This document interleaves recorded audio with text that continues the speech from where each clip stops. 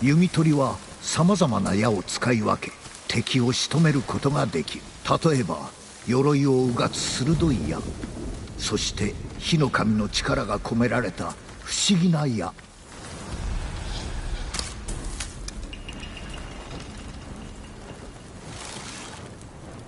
さらに竹三日月が作ったという矢には敵をしびれさせる力がある。自慢の弓だよ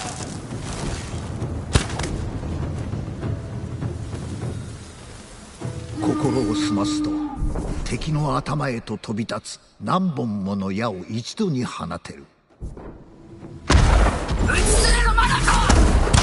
遠くから狙いすます弓取りと異なり視覚は音もなく敵に忍び寄り瞬く間に命を摘み取る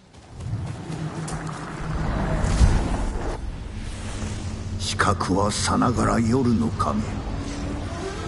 誉れを行く道を捨て敵を欺く怨行を身につけた。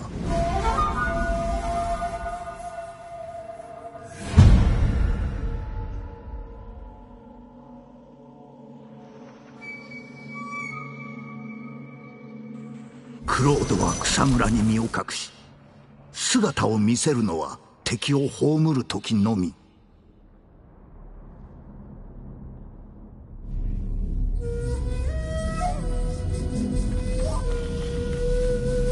背後から近づきささやくがごとく静かに命を。追う屋根から屋根へと素早く移り万平の目をかいくぐる。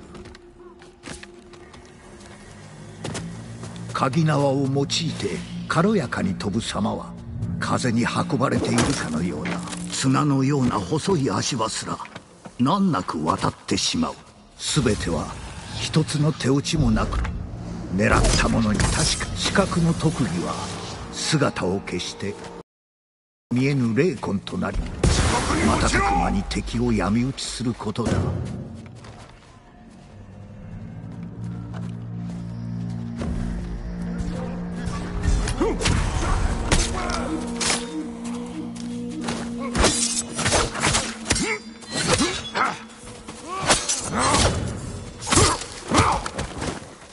そして奥義は闇に身を潜める死の神となること。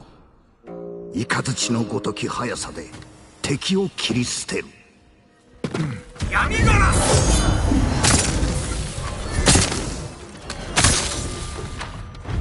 その場にあるものを生かし隠れ殺めるという兵術を編み出したことで畏敬の念を集めている。そして最後のクロードも他に劣らぬ働きを成したる勇者。対馬の民と少量のため太刀を振るった浪人だ。浪人は味方の傷を癒しさらには死者をよみがえらせたという。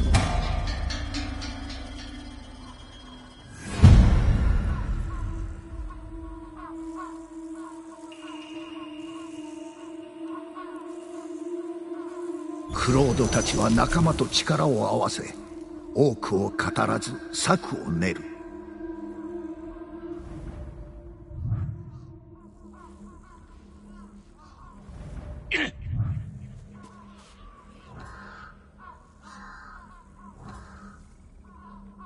こっちだ。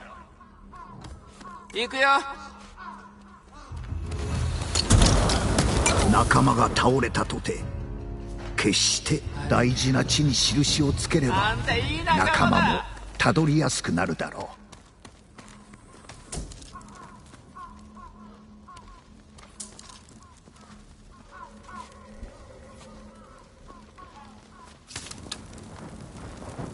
浪人は獣の式神を呼び出してしておる加勢を命じられる。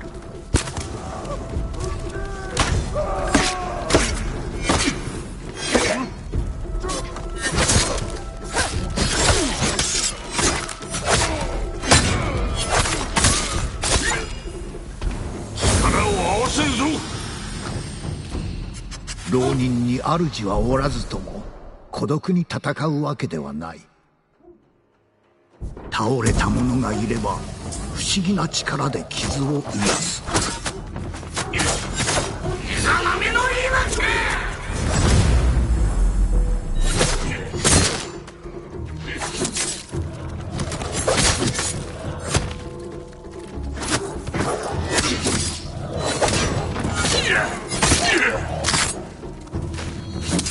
ロ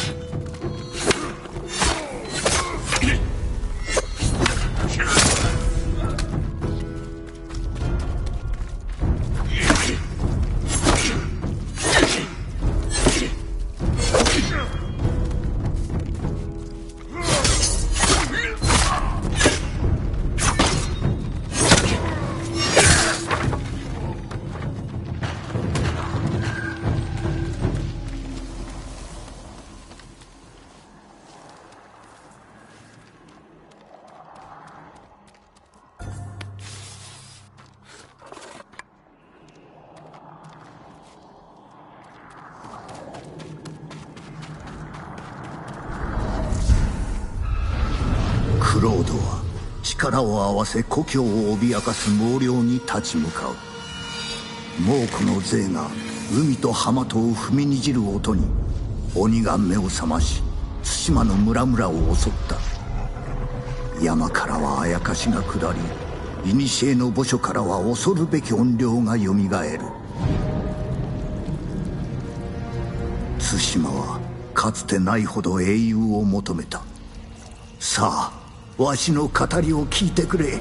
後の世にこの話を伝えるために知られざるクロードの忌憚を。